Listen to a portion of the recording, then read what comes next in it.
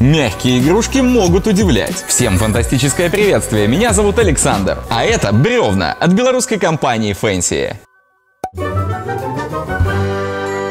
Во-первых, это необычно. Эти бревна выглядят настолько реалистично, что с первого взгляда и не скажешь, что это игрушки-подушки. Они очень хорошо впишутся в интерьер квартиры и тем более загородного дома. Представьте лицо дедушки в деревне, когда ему подарят такую подушку.